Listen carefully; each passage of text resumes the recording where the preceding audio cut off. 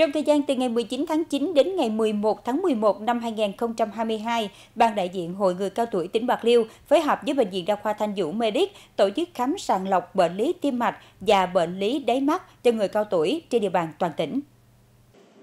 Theo kế hoạch, mỗi ngày tại Bệnh viện Đa khoa Thanh Vũ Medic sẽ khám sàng lọc cho gần 150 trường hợp là người từ 60 tuổi trở lên. Khi đến khám tại bệnh viện, người cao tuổi sẽ được các bác sĩ kiểm tra huyết áp, đo điện tim, khám lâm sàng. Các trường hợp nghi ngờ bệnh lý đều được siêu âm và hội chẩn để kiểm tra phát hiện ra các bệnh lý về tim mạch, từ đó các bác sĩ tư vấn hướng điều trị kịp thời. Đối với bệnh lý đáy mắt thường gặp ở người lớn tuổi, với biểu hiện thường là xuất hiện điểm đen trước mắt, đột ngột thấy mắt mờ, tình trạng mất nhận thức về màu sắc hoặc hình ảnh nhìn thấy bị biến dạng, gây ra suy giảm thị lực và mù lòa. Các bác sĩ sẽ kiểm tra soi đáy mắt, soi sinh học bằng thấu kính và siêu âm mắt cho người cao tuổi đến khám tầm soát và tư vấn phương pháp trị liệu để bảo vệ sức khỏe.